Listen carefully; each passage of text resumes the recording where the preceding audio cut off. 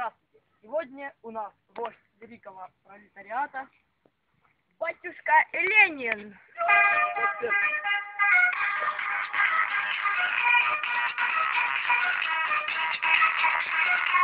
Thank you.